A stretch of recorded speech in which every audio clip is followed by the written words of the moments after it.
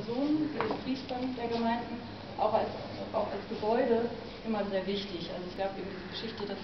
ähm, die Gemeinde in Kosaki ihr gesamtes Kircheninventar mit nach Bujana auf den Weg genommen hat, wo es halt in der heutigen Kirche auch immer noch steht. Und ähm, die Bedeutung von, von Kirche für die Gemeinden war etwas, worauf sich ähm, fast alle Interviewten einigen konnten, dass es sehr wichtig für sie gewesen ist, während der Vertreibung ähm,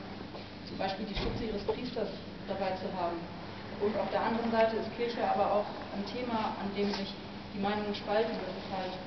ähm, Streit darüber gibt und gab, wie mit Kirchenbauten umgegangen wurde,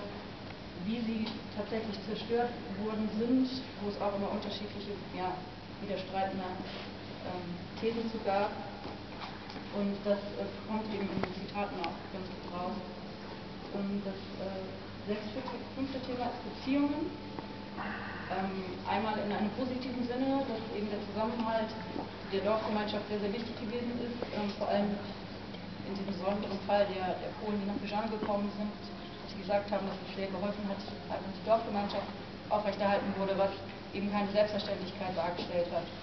Und dann auch Beziehungen in einem negativen Sinne, ähm, da schon gerade in Interviews mit den polnischen und ukrainischen Vertriebenen wurde häufig thematisiert, wie die Beziehungen